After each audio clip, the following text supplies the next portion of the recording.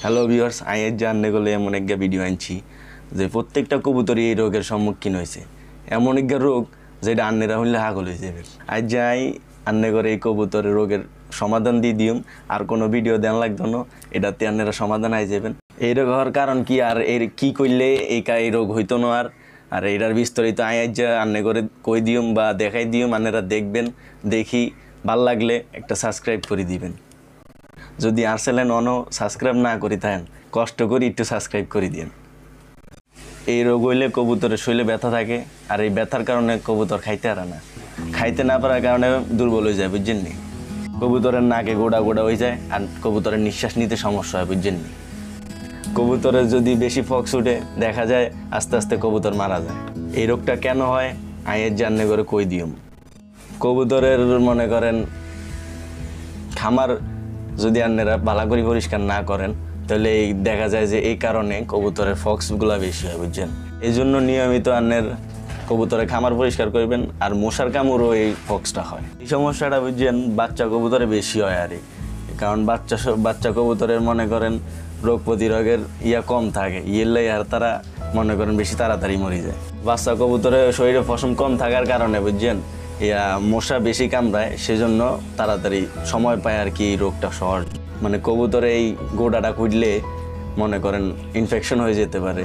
তাই আপনারা কবুতরের ইয়া, গোড়াগুলা খুঁজবেন না, এটা অনুরোধ রইল আপনার কাছে।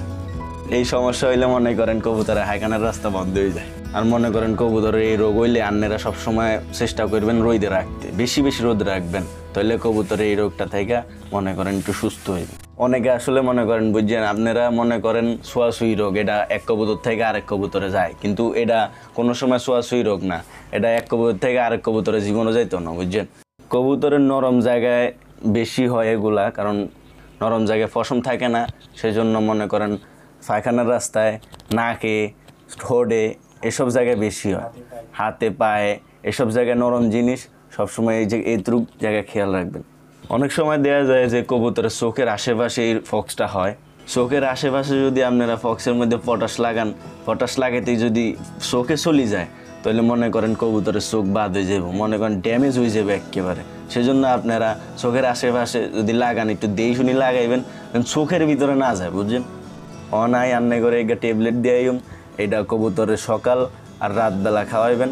খাওয়াইলে আল্লাহর রহমতে এ কবুতর সুস্থ হয়ে যাইব আন্নেরা কোনো টেনশন করবেন আর কবুতর মনে করেন দুই দিন পর পর গোসল করাইবেন, বেশি বেশি রোদ্রে রাখার চেষ্টা করবেন, আর মশা যেন কোনো দিক দিয়ে না কামড়াইতে হারে, সেই দিকে খেয়াল রাখবেন আপনারা।